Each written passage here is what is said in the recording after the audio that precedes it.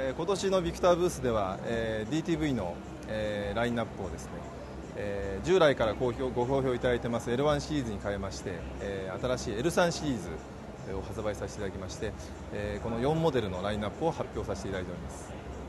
えー、従来の L1 シリーズで好評いただいてました忠実な色再現を継承しつつ今回の L3 シリーズでは、えー、簡易波形モニターを新たに搭載させていただきました。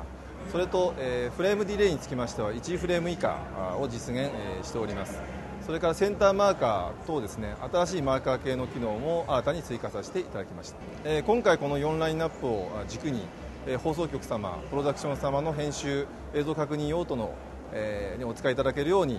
販売をしていきたいと思っております。